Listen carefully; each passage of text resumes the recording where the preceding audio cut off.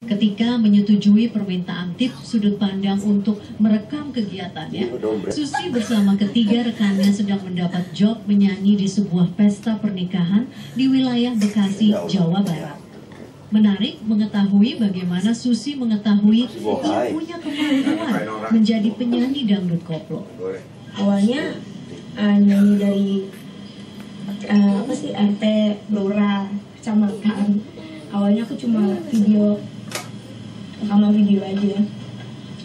Terus pak pak eh, pak pak camat pak camat nyawer jadi inspirasi. Duh, enak ya jadi penyanyi di sawer gitu kan. Aduh lama-lama jadi senang jadi hobi.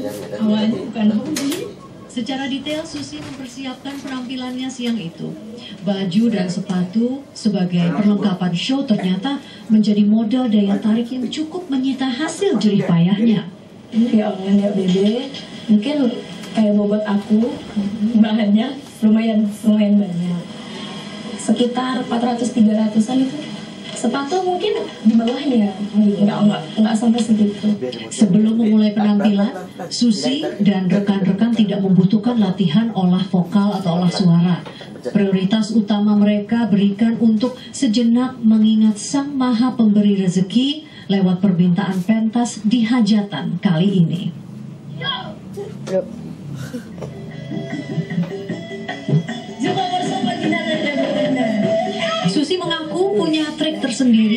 Menambah daya tariknya sebagai bintang panggung dangdut koplo.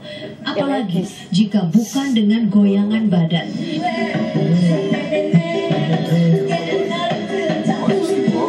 Ia bahkan sudah menemukan goyangan yang menjadi ciri khas untuk selanjutnya menambah nama panggungnya. kalau di sini nyebutnya itu goyang buhay mungkin dibilang vulgar nggak terlalu vulgar ya jadi lucu gitu loh. Muncul aja langsung. Kayak biasa nyanyi kita pengen goyang kayak gimana muncul aja. Di luar sosoknya sebagai penyanyi dangdut koplo, siapa sangka jika mahasiswi semester 2 Universitas Pancasakti ini punya cita-cita mulia yang ingin segera diwujudkan. guru profesi guru itu nggak ada jasa apa tanpa jasa nggak tanpa duit kadang guru juga bisa ngajar. Ya kan? Mungkin kemauan saya untuk menjadi guru. Saya biaya dari kuliah eh dari nyanyi ini saya perlu untuk kuliah. Dan juga membiayai adik saya kedua adik saya.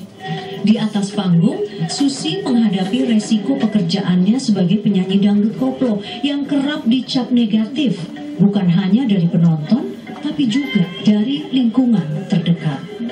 ini kata kasarnya ya. Aku makan aku makan eh, apa aku susah kamu nggak tahu. Aku senang kamu bahagia. Ya kan? Kalau aku kaya ya pasti kalau misalnya dia mau minjem uang atau ke mana kan pasti ke aku. Kalau misalnya aku lagi sengsara mana ada yang mau? Itu aja. Nggak ada yang peduli buat aku udah Menjadi penyanyi dangdut koplo adalah sumber penghasilan utama bagi Susi. Bukan hanya untuk dirinya, tapi juga keluarga yang menjadi tanggung jawab anak kedua dari empat bersaudara ini. Yang pertama pokoknya orang tua kebutuhan orang tua dulu kebutuhan kuliah setengah persen ya Landa pasti ada pasti ketemu nantinya kalau jalannya kuliah sama kedua adik aku ya orang tua itu ibaratnya gali lubang tutup lubang lah gitu buat buat anak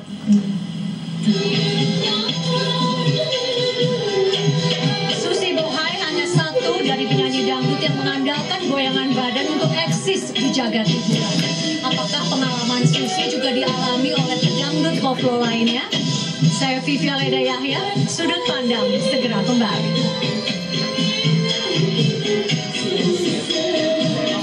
Kalau ada